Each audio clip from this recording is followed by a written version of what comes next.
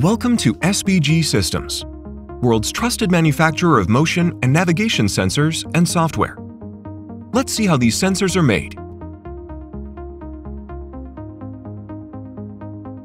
Every single SBG product is manufactured and calibrated in France. First up, it's quality control time. We visually inspect all supplies that come through our doors to ensure they adhere to our specifications, flagging any instances of non-compliance. Then, the electronic boards undergo burn-in to detect failure and ensure reliability. They're subjected to temperatures ranging from negative 40 to 85 degrees Celsius before assembly. Our skilled team then manually assembles various sensors and connectors into the mechanical frame to build an IMU, following a detailed process to ensure everything is in the right place. IMUs are mounted on the calibration plate and then placed on the rate table for thorough motion analysis and are subjected to various temperatures ranging from negative 45 to 75 degrees Celsius.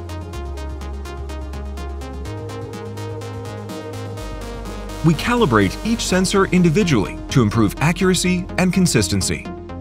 Our high-performance IMUs go through a validation process.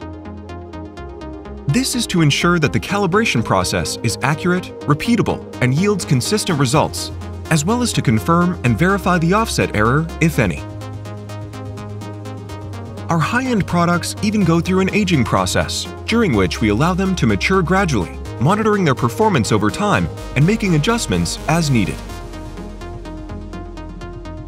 Each of our product undergoes a final acceptance test to ensure all the interfaces and APIs are working as expected. A validation report for each product can be downloaded on My SBG portal. Our sensors are carefully packed to make sure they are not damaged during shipping.